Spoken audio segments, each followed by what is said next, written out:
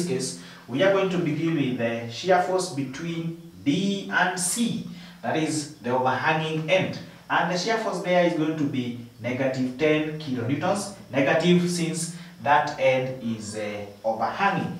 Then we go to shear force at C. And the shear force at C will be this negative 10 kilonewtons. We add the reaction at C, which is 37.03. Therefore, plus 37.03, which is going to give us 27.03 kilonewtons. Then from there, we go to shear force between C and B. So the shear force between uh, C and B is going to change uniformly from 27.03 to 27.03